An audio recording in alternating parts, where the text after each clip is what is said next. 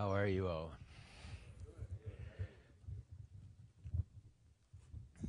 How are you, Dave? Not that good. I'm pretty tired, I'll tell you that. I'm pretty tired.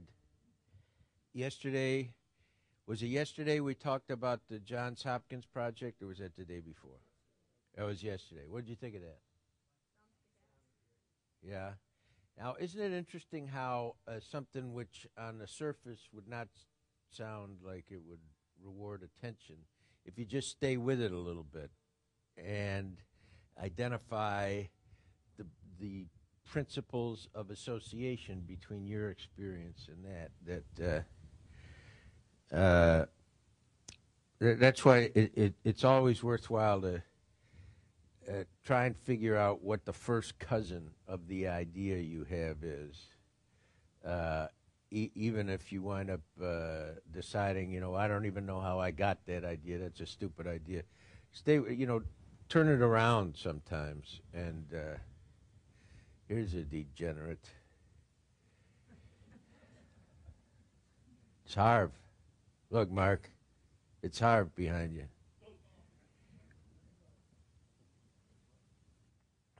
Hey, Harv.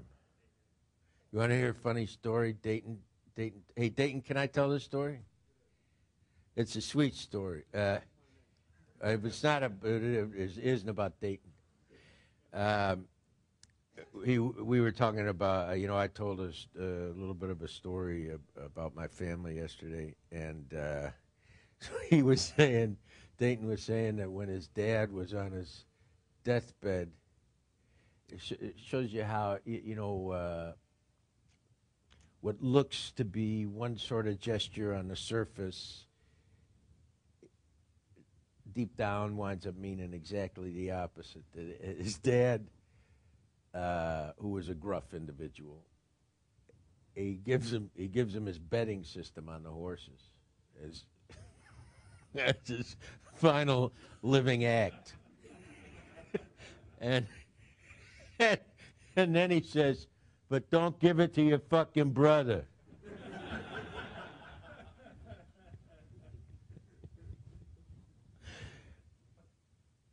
and uh,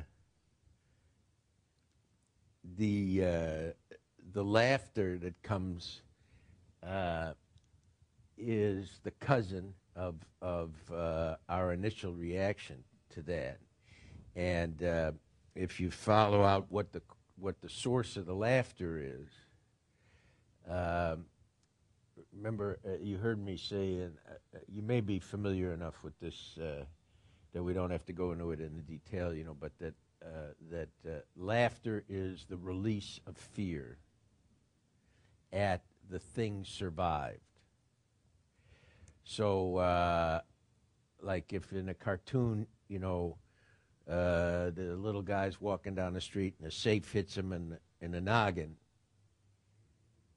and he staggers away, you know, you laugh at the dichotomy between the expected consequence of the thing depicted and the, and, and what the cartoon is showing. So uh, uh, the Divine Comedy in that context is uh, what sin survived, uh, all of human experience transcended, and uh, in this case, uh, and, and you know if uh, if you ever look at people's faces when they see a newborn, you know, or when they see a little dog or, or something and it's trotting around, and they get, you know, this doofus grin on their face. Uh, the doofus grin is informed by all that we now know of life. And that this living thing does not know. All the, the sadness and sorrow and sense of separateness that we have. And this little living thing doesn't know it and is happy, and we're glad. The gladness is what makes us smile, the sense of, of our isolation and sadness and sorrow and separateness has been survived by the stimulus in the present moment. Another version of that little baby is a man's dying words when he says, But don't tell your fucking brother. Because what makes us laugh is even at that moment of extremity, the pettiness of life goes on. And yet we are still recognizably human. And cohabiting with that pettiness is a gesture of love. That in the same gesture that, that reaches out to Dayton and, you know, he his dad could, didn't have anything to give him except this for cock the betting system, you know. And probably the biggest favor his dad ever did Dayton's brother is by Dayton not giving him the betting system. Uh, pardon? Yeah. um, but but uh, uh, I'll I'll tell you another uh, story on, on my family that that may make you smile a little bit. Although it probably won't make you smile, but it but it is still comic. Uh, uh, quite clearly, you know, my you, are able to infer from uh, several of the stories I, have told you about my dad. You know, he was an enormously conflicted guy and uh, uh, troubled, and and and and I know, nonetheless, you know that he he loved me. He loved my brother and my mother. Um, but the interpretation of certain behaviors as love is sometimes more the translation's a little more difficult than others. And uh, sometimes one is grateful uh, you know for things which are uh, not so difficult to translate. And uh, uh, I was leaving home once for for whatever nefarious and confounded purpose, and uh, he had uh, we'd had a big beef the night before, and uh, I was. Uh, I guess from the time I was like eight or nine, I started. I was a big Freon sniffer I was a great slitter of refrigerator linings, you know, and uh, and uh, then when I, uh, you know, my dad had a whole array of pharmaceuticals, and uh, I would try and take one of each by four o'clock every day. Uh, without realizing that a lot of them, you know, acted against each other. So it, it, you didn't know what you, you, knew you were fucked up, but you didn't know, you know, you were down, you weren't up, you were just buying.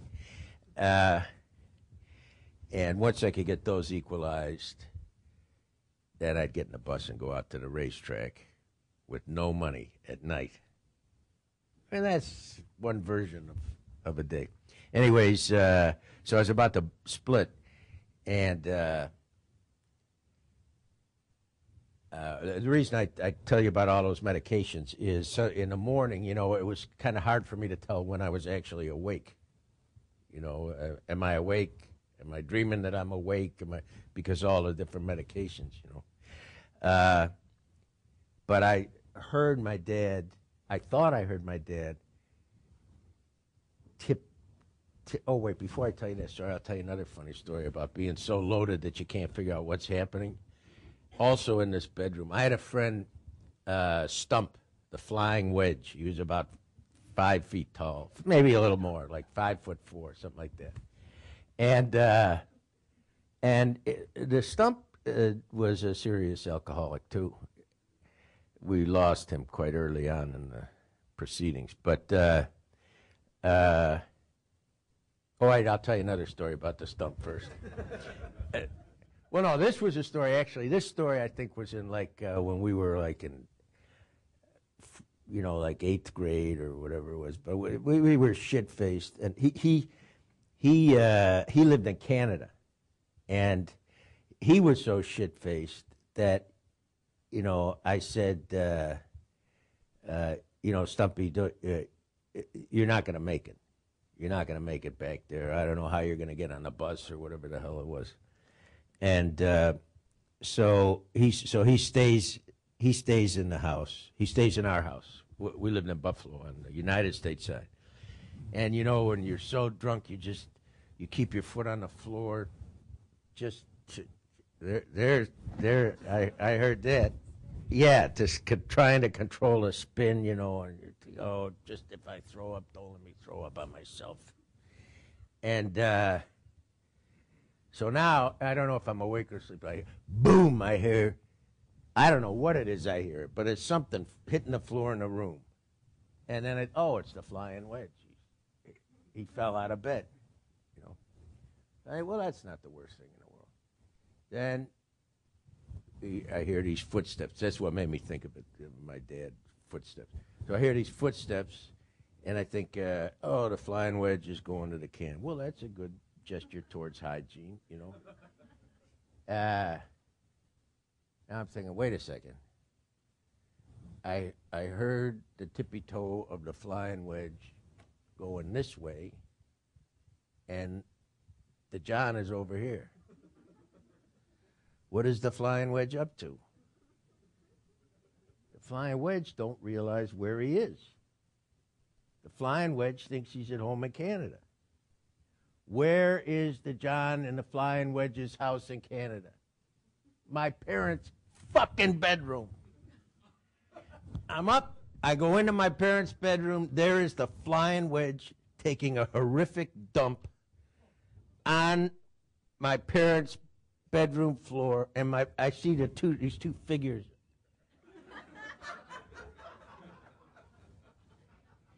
Ah. And uh, you know the collective denial system said, "Mom, Dad, how are you?" You know, I drag the flying wedge out. I come back. This, I- I'll explain this to you another time. You know, I told the flying wedge the next morning, and he dove right out the second story window. He wouldn't even, he wouldn't even go downstairs. so, I won't tell you the other flying wedge story. So, anyways, I hear I hear uh, my dad in the morning, and I can't figure out, uh, uh, you know, am I asleep? Am I awake? I hear his footsteps, and then, and because he knew I was leaving, and he, he went and he just patted my hair, but he, he, he didn't do it enough to wake me up because he was shy about that stuff, you know. But he was saying goodbye, and in the yearnings of the heart, you know, the discrepancy between that and what would be interpreted as a normal gesture of affection, uh, that can make you smile too, because that's in that discrepancy is the thing survived. That uh, the wounded heart uh, is able to interpret and, and transcend that, to, know that that is a gesture of love. And one of the, uh, you know, one of the things I was saying to you yesterday about art, you know, this is the process by which the pain of the past, in its pastness, is uh, transmuted to the future tense of joy. And um, the the uh, the doubleness that the artist experiences, you know, standing outside and figure. Uh, that's why you know I say try and always stay with whatever association you have until you see its first cousin, because maybe your in, unconscious, your imagination is trying to tell you something that maybe your consciousness is afraid for you, is reluctant for you to indwell with, but that in fact is a thing survived that can be the material of art which you can transmute from pain in, into joy. Uh, do you understand what I'm saying? Um, see now, because I don't have a, any particular state in objective reality, I see you as a creature with a camera for a head. And you know, it, it ain't. A, it's it's kind of a lateral move. It's not a. Tri- um, we're longtime friends, and this guy first presented himself to me as a relative, and I'm not entirely sure he is. Uh, okay, so now, what what what, do you want to follow out? uh, as a process of, of you know tracking down first cousins. Do you want to do you want to stay with the the idea from yesterday? Do you want to somebody want to say you know just take a venue as the premise for a series, just volunteer one, and we can try and improvise and and uh, uh, you know and extrapolate a world. Have you discussed how your father wounded you? You've discussed that you were wounded. I haven't, I missed one session, so maybe I missed part of it. Is that the question that I just asked?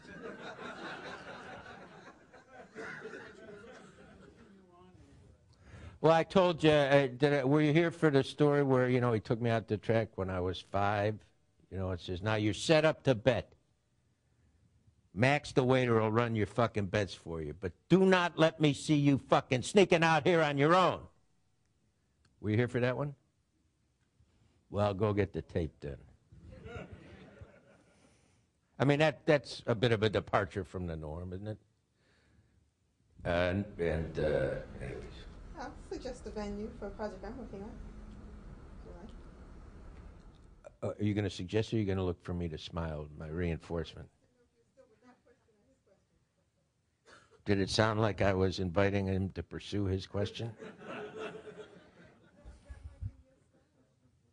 It might, it might be my style, or it might be your reluctance. Then let's go.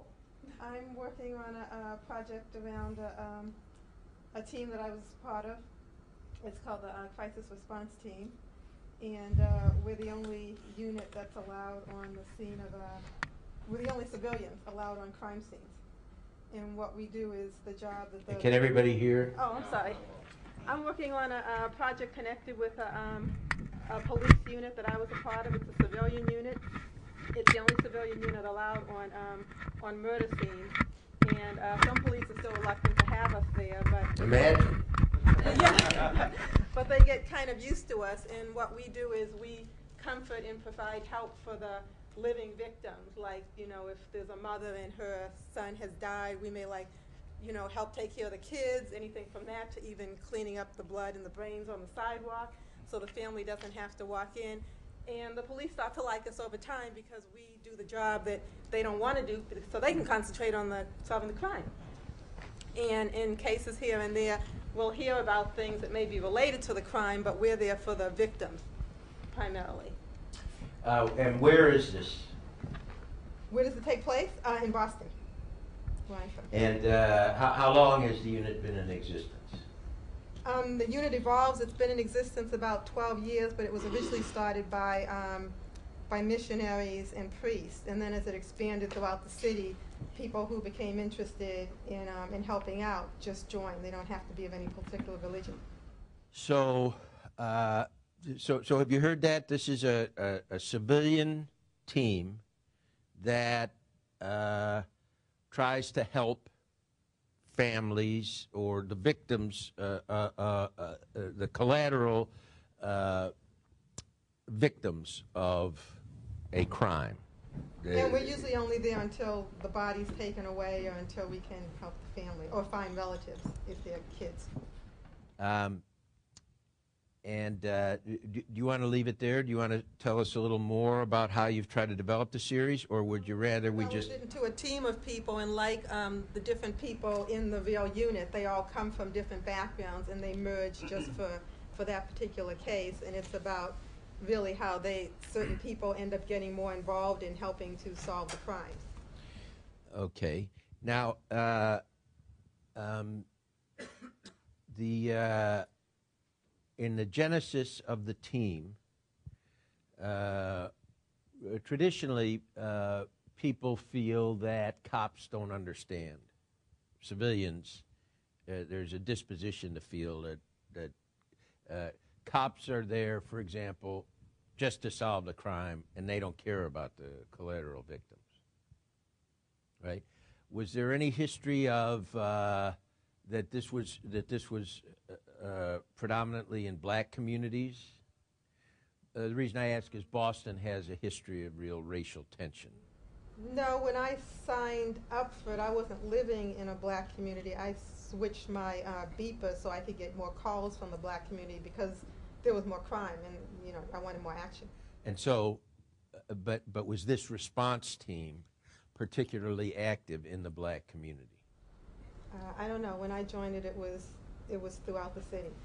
Well, but if you say I wanted more action, that would suggest that there was more action in the black. Yeah, there's more action in the black community. Right.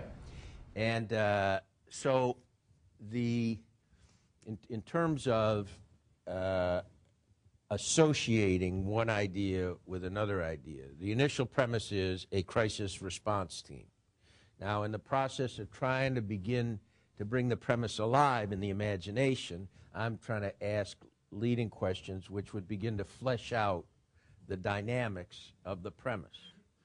So, one of the dynamics would be uh, the impulse in those who have suffered the trauma of uh, loss, violence, violation, to attempt to understand the experience by binding it to less traumatic but more familiar ways of explaining their relationship to outside forces which control them. Uh, the victim of, let's say, uh, a burglary which turned into a murder uh, feels absolutely at a loss. Uh, in ter- uh, uh, every discipline, uh, you know, every structure w- uh, which he or she has used to make himself feel at home has has been broken. Um, now in comes a stranger, and the impulse is to associate, and in fact, it's a way of grieving, which is a way of beginning to survive the experience, is to say to the cop, "Oh, what are you, are you going to rob me too? You're going to wait till my back is turned and then steal what hasn't been stolen yet?" Or you don't know what the fuck happened, and you're never going to know what it ha- what happened because you're not black. Um, that is, in fact, and what a, what a, a cop understands is that that is a way of beginning to grieve.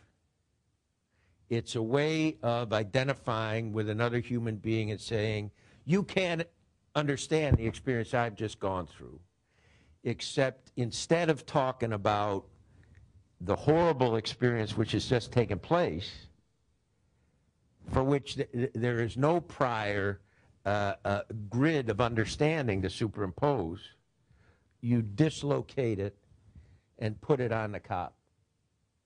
Now, the danger that a cop would feel in relation to a civilian crisis team is well, here come the do gooders that don't understand fuck all about the way that the victims of crime live into the aftermath of crime, which is by blaming us, and we have to kind of let them do that because it's what disposes them to feel protected enough by yelling at us to begin to share information about what the crime scene was like. Um, the now uh, simultaneously, so so that's the ideal cop. Then there are cops who understand that that dynamic that people want to grieve, but they don't like black people. so, in the rippling out of events in the aftermath of a tragedy, you may hear a cop say, uh, Not for nothing, I didn't break into your fucking house. So let's go a little easy on the bullshit, and why don't you tell me what the fuck happened? Now, paradoxically, in another context, you've heard of the dynamic uh, good cop, bad cop. A lot of times, an apparently unfeeling personality is easier for the victim to relate to in the immediate aftermath of crime. Uh, what I'm what I'm uh, trying to suggest is that the the the surface impulse of coming to aid, civilians coming to aid, to the extent that any new variable enters an equation, the whole equation changes. And what many cops are going to say is, I got a better idea. Why don't you run a bingo game? Because we're trying to solve crimes here. Now, to some extent, that is a kind of alcoholic response, and a lot of cops are, are, are alcoholics because anything that's new, a cop is disposed to, it's fucked. It's no good. It ain't going to work. Uh, when I was writing uh, NYPD Blue and, and uh, the original star left, and the network said, we're done. We're, f- it took us all this time to get a fucking hit show, and now this self-involved Dago goes to be a movie star. And, and uh, so, so what I did was to, to try and portray in his partner a, a characteristic alcoholic's response to any disruption in his routine. Because finally, what an alcoholic is, I want to know where my booze is at all times, and I want an unobstructed path to it. And, and if, if I do the same thing every day, I can work out what time I'm going to be able to sneak into the door and get the thing. But if I got a new person here who's looking at my fucking drawer, that ain't going to work. So, and the seemingly inexplicable irritability of the alcoholic is owes always to that the anticipation of change as a dis because what the the drug wants you to believe is don't let me get low, Rich. You know, do you remember the Richard Pryor routine where he's talking about the crack? But "Ooh, let me get a little low there, Rich. Don't. don't." Um, so, in in portray in in now, the whole goal of getting viewer allegiance to the premise of a show is to addict the viewer to the premise. Now, here's a disruption of the premise. Now, how, what you then want to do is to provide a surrogate for the viewer's sense of disruption, which distracts the viewer from the disruption and simultaneously provides him with a means of saying, "Oh, I can survive this. I, I, the thing survived is comedic, so I can get over this." So what I did was exaggerate the viewer's own sense of dislocation, so that the new character comes in. He says, "Hi, I'm Bobby Simone." So says, "Yeah, yeah. How you doing? Excuse me, just a second. He goes into the boss. He says, "That ain't gonna work. That ain't gonna work." And the boss says, "What's what happened? What happened? What happened? Oh, how you doing? This type of thing. That that ain't gonna work." And what the audience is is now distracted by, it's away from the newness of Simone and back to the familiarity of this fucking Andy. He can't adjust to anything. He can't adjust to a guy saying hello. The corollary of which for the viewer is give him a fucking break. Give the new guy a fucking break. A- and a rebind, rebonding to the premise of the material. Now, in this case, in your series, uh, the the uh, when I hear, you know, a premise about a crisis team, which comes in, cleans up, and splits, I think dilettantes. Uh, because there's some uh, consequences of that crisis that can't be cleared up, cleaned up. Um, now, the way to get your viewer to give your series a chance is to have someone exaggerate the viewer's own resistance, which is a figure that the viewer typically associates as with as his surrogate for dealing with crisis, a cop. So now what you have a cop is, what you have a cop doing is being even more unfair to the crisis team than the viewer is. And the viewer ain't that thrilled.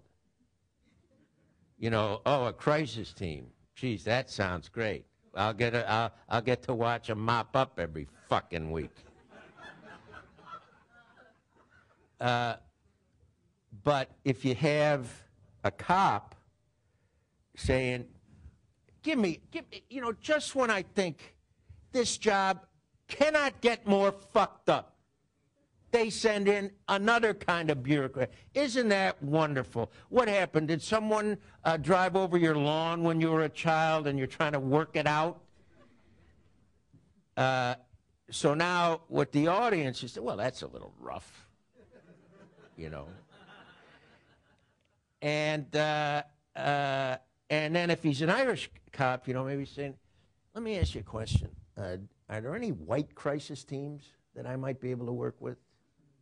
Not for nothing, you know, but uh, I might be more inclined. Or he wouldn't say that to the to to to the, the crisis worker, but he but he says to a partner.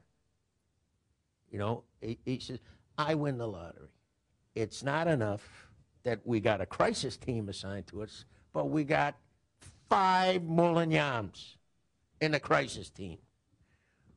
Who did I offend in heaven?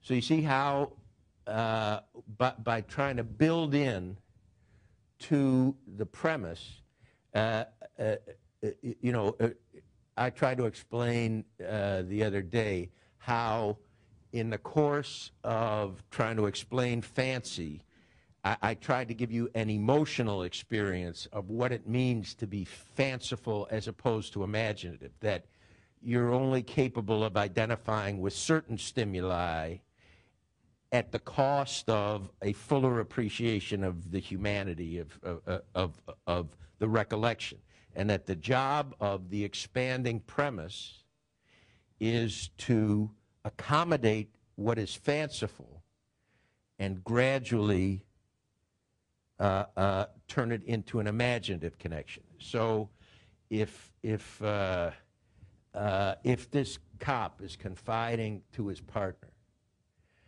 and what he's saying, is, I, I, I, I, I don't know what fucking lottery I lost that I keep. And if the the uh, the black crisis worker is talking to a friend of hers and says, just loud enough for the cop to hear. It, it, are there any police teams that aren't composed of donkey fucking mix that we could get assigned to? Just to give us half a shot because I know this isn't going to work, but what I'm trying to do in my survey is figure out whether it's possible that it could work. And as, as, as long as we get, you know, the guys with the busted capillaries wondering where the, where the nearest bar is, we, eh, eh, we don't know whether it's because they're assholes or whether this is a bad idea. He says, excuse me, who are you talking to? Says the cop. Is this something the whole class can appreciate? Now, you see how it widens out a little? Um,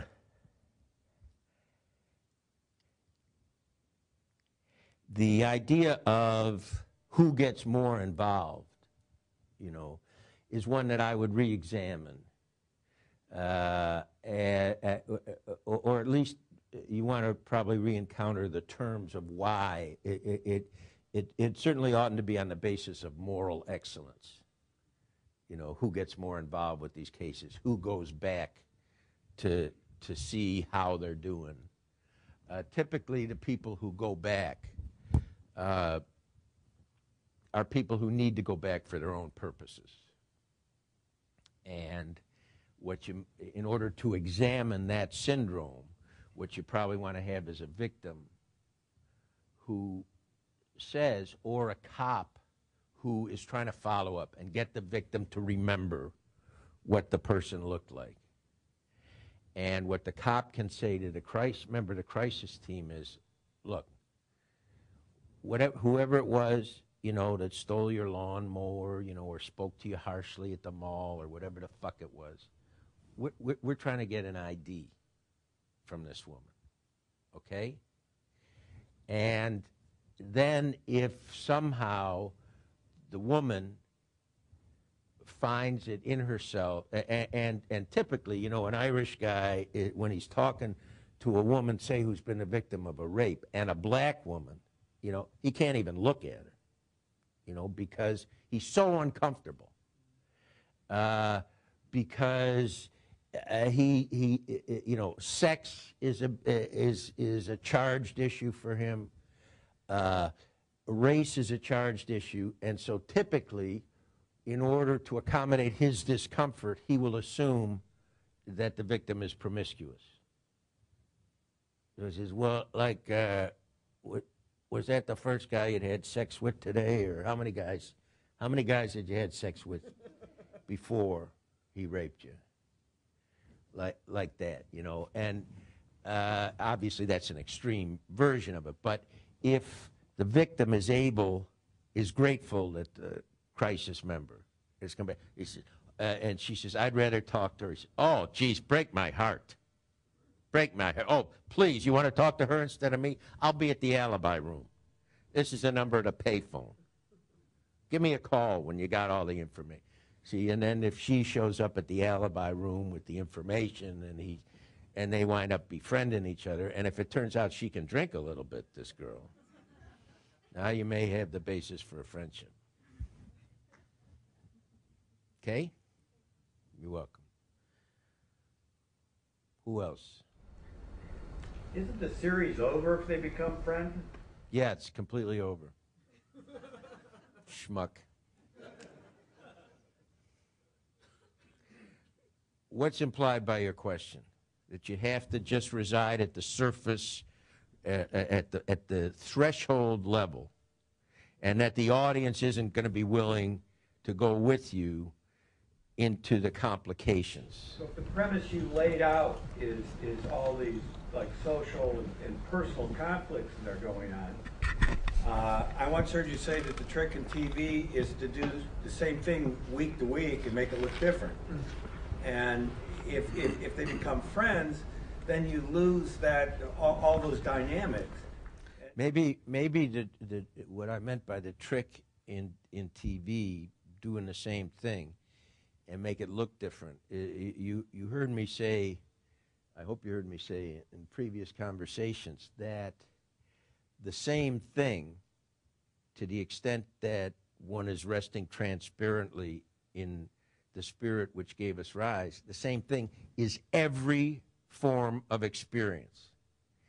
And to recognize that things which look different essentially are the same allows you to do anything at all. Uh, so, so this uh, uh, uh the black woman is in there drinking with the cop and she experiences pain. And it turns out she has sickle cell trait or something that it's impossible for the cop to have. Uh, yet his compassion, she's shown that she's got a little something going on. Now he tries to find an equivalent that nonetheless acknowledges difference. I, I, I had a I had an aunt, fucking diabetic, of course, she a diabetic. She fucking drank and she smoked, you know. what a pain in the balls she was.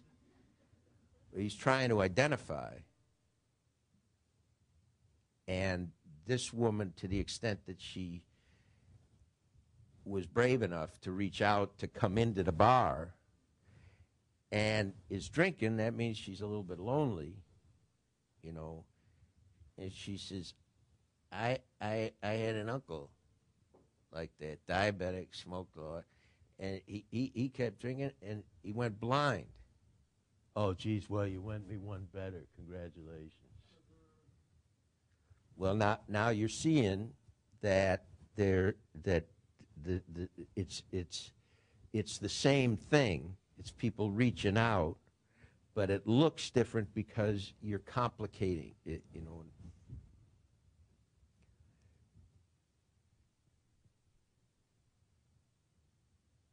Now, this is a story of a man who believes he's a camera.